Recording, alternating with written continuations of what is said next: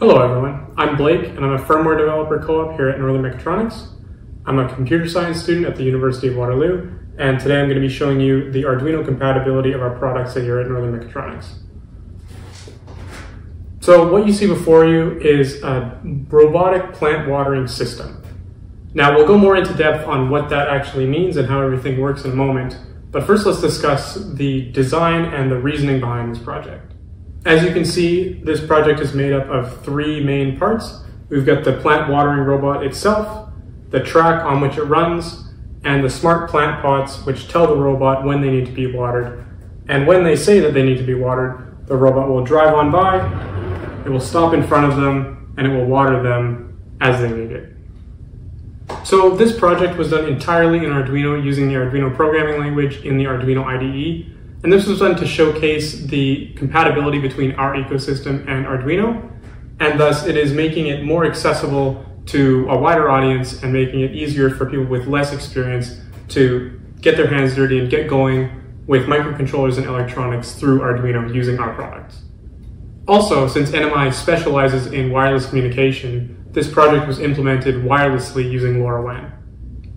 Okay, now that we've got the basics, let's take a deeper look into how these parts work. Let's start with the robot itself. Inside the robot here, we can see that its brain is the NM180-100 on our evaluation kit. The NM180-100 possesses an Ambiq Apollo 3 microcontroller and a Semtech SX1262 transceiver. This allows us to deliver an end-to-end low-power chain of components enabling ultra-low power computing and ultra-low power wireless communication. Plugged into that, we have the Adafruit Motor Shield V2. That controls the driving and the pumping of water. Here we have the water pump, and one of the hoses of the water pump goes up and out, and this is the end that waters the plants, and the other end goes down into the water reservoir. Down below we have the main drive motor, which is geared directly to the front axle by this gear. On the front wheels, we have these rubber bands wrapped around them to use as tires to get better grip. Here is the water reservoir, which can be removed for easier filling, and down here is the IR sensor that detects when to stop to start watering a plant. Everything is powered by three AA's, which live back here and are wired through to the board by these wires. Now let's take a look at the plant pot. This one is simpler, but just as important.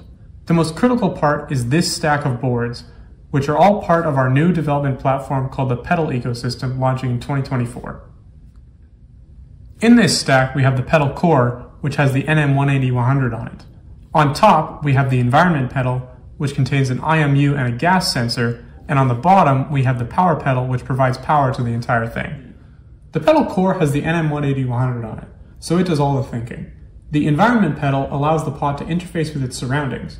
This connection on the left goes to this soil sensor, which can measure the temperature and capacitance of soil. The capacitance tells us how wet the soil is, since as moisture content goes up, so does capacitance. The other pair of wires on the right side goes to an IR sensor that is attached to the track. This is used as a beacon to tell the robot to stop. When the plant has requested a watering, it turns on this IR sensor, which sends a beam of infrared light that the sensor on the bottom of the robot can see. Finally, the power petal connects to the battery or to USB-C through these ports on the bottom. The whole stack fits nicely in this little backpack on the pot, which has holes for the necessary wires coming out of the bottom.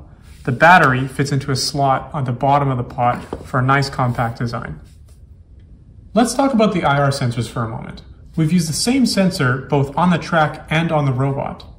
This may not immediately make sense. These IR sensors are intended to be used to detect something by emitting a beam and picking up the beam as it bounces off of an object. Their intended range is around 3 millimeters.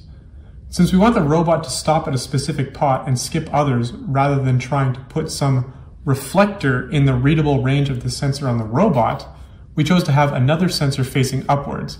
This sensor's beam shines directly into the detector on the robot, so it's not picking up its own reflected beam, but rather the beam of the other sensor. The sensor in the track isn't reading at all. In fact, the pin that sends the output isn't even wired up. The advantage of this solution is that to get the robot to stop, rather than trying to move something in the way mechanically, all we have to do is turn on this IR sensor electronically and it'll be picked up by the robot.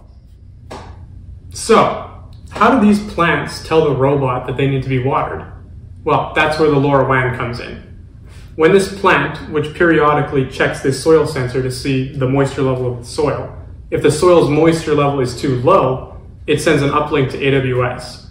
Now the plant pot is running on class A. That means that when it's not measuring or transmitting, it can put the processor to sleep, which means that you get a longer battery life.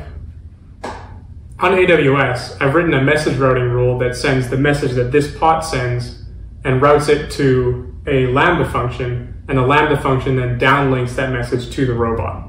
The code for the Lambda function will be in the documentation, which will be linked in the description. The robot operates on LoRaWAN class C, which means it's always listening for a message. Fortunately, the NM180-100 that's in here can turn off the processor while still leaving the radio on, and the radio can wake up the processor when it receives a message. When this receives a message, it checks to make sure that the message is, please come water a plant, and if it is, it starts driving along, and it only stops when it arrives at one of these beacons, which is turned on. When it arrives at a turned on beacon, it turns on the pump and waters the plant. And once it's done that, it goes back to sleep and awaits a new message. So let's see this thing in action. As you can see, I've only got two plant pots right now, but this is expandable infinitely as long as you have the plant pot next to the track and the IR beacon to tell the robot when to stop. Um, and of course, this is clearly a tech demo, but you could see how it could be useful or something like it could be useful in agriculture as a form of precision irrigation. Uh, you could use this or something like this to only water the plants that need to be watered rather than watering them all, and thus you'd be saving water. So to demonstrate how this works, I'm not going to wait around for the four hours on the cycle of these plant monitors. I have a manual override just to say water this plant or water that plant just by the push of a button. So I'm going to start with this plant. I press the button here, and we wait a moment for the signal to go, and the robot starts driving. And as you're going to see, it won't stop at this plant because that's not the one that called it, and the IR beacon isn't on. So it's going to go all the way around. It'll stop at this plant. It'll water it for, I think, 20 seconds, and then it'll go back to sleep because once it's done, it just has to go back to sleep and wait for another call. So it's going to arrive in a moment, and it'll start watering,